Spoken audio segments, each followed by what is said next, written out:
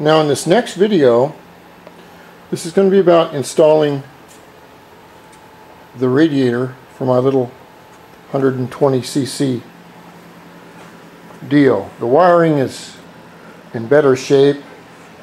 The front cowling is on. The wiring in the, uh, on the very front, and you can see my air scoop holes there, they're set where I want. But my next, um, now this, this is, sounds simple, but it's not.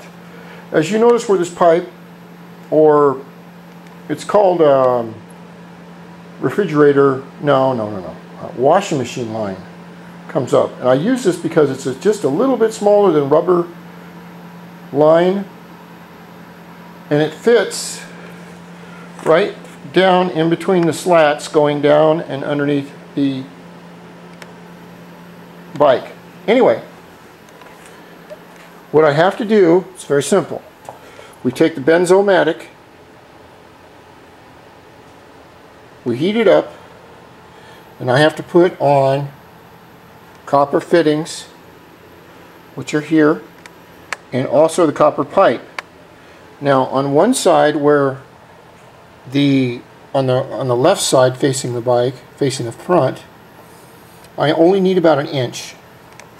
And that will put this pipe threaded regular pipe thread to regular thread, oh, half inch onto here. Now on the other side, I need about five and a half inches right here. Now this is five and a half inches, which we deal with in America. We don't use centimeters. I, I'm no good with metric anyway. And there's the one inch, and they're going to fit right inside these uh, fittings here. But the most important part about doing this is the planning. And I, I want to go over that for just a minute for anyone that wants to put a radiator in their bike. Now, when you do it, you're going to have to remember that chances are it's going to leak. It's going to leak or it's going to get loose due to heat. Now I'm putting these, sit down here, my little snap-on stool. These are going, these are cold right now because it's in January. But they're going to get warm. When they get warm, they are going to thin out and they will need to be tightened. Therefore, my fittings that come off the radiator from about right here have got to come down to where I can get at it, get at the hose clamps that this is going to mate to with a screwdriver or a socket. The same goes to the other side. But there is also a trick too, as you can see the bend the bend in the pipe as it comes up, I can't get the fitting too close to the apex of the bend or else I'll kink the line. The same over here on this side. Now that's one problem. The next problem is when you go to place your radiator, you want to place the radiator, you want to give yourself an extra inch of line or just enough play to where if you need to take that radiator out for any reason, like maybe you need to do the wiring or whatever, that everything isn't so tight in there that you've got to cut everything up and restart it. You want to give yourself a little bit of leeway on the on the lines here so that you can wiggle your radiator around. You can always strap the radiator down. But if you need to take it out and you can't get at get it out without ripping up your lines, then you're not doing too good of a job. Now that segues right into my next thing with carburetors for just a moment. Now if you'll notice on this carburetor line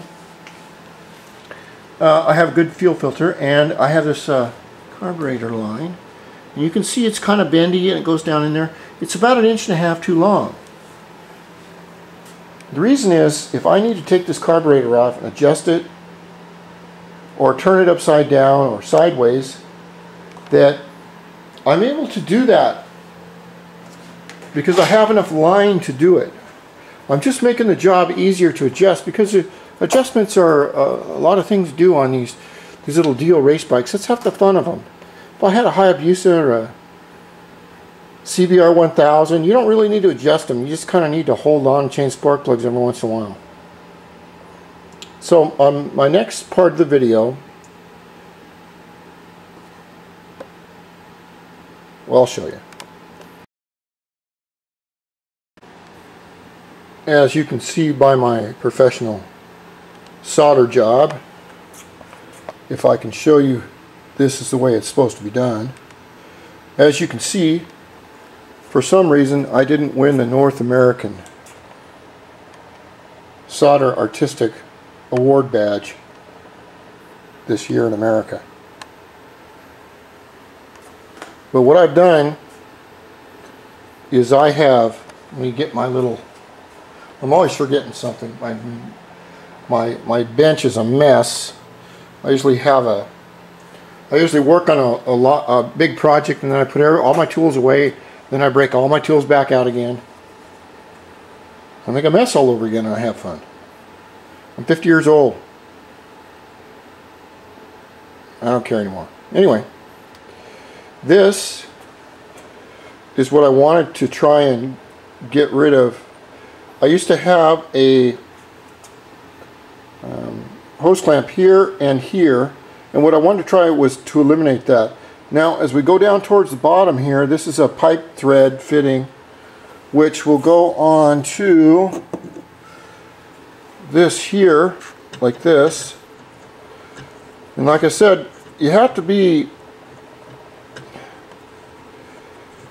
well get on there damn it um, you have to know where to put these on in the bike because when the hose gets clamped on right here I have to be able to take that hose clamp and tighten it or loosen it or do whatever I have to do to get that to get the radiator out. And this is by experience.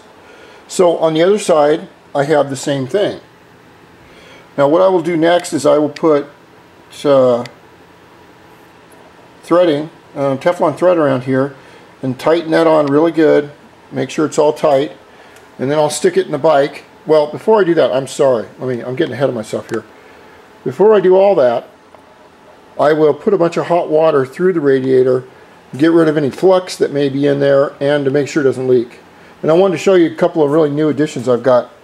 These are some really cool um, spikes that you put on your little tiny license plate and these are two little dealy bobs that they twist on. So you got to hold that camera. Just right. If you get too close you go out of focus. These twist onto your your tire air stems and you put little tiny um, batteries in them and you got to move real close real slow when you do this because it'll go out of focus real fast. See, then you move your camera away, and as you focus on a different part of your of, of uh, what you're filming, it's good. Well, while you're talking, is to zoom in on something like the cap here. The thing is that on YouTube, it's a worldwide operation, and being American, I kind of think everyone speaks English, but they don't. Well, I know they don't. So being a visual, a visual medium, it's always good. That's where I was trained at. I'm a painter. It's always good to express your videos visually as much as you can and keep everything in focus and mainly keep it interesting like with all this crap here uh, junk I don't know what they call it around the world Okay, that's 9 minutes and 30 seconds. This is going to be my new bike. It's going to be Repsol. I've got some uh, really neat uh, um, emblems coming in for it. I'm going to paint it orange. Okay, I'm running out of tape. I'm going to have to get a new uh, disc.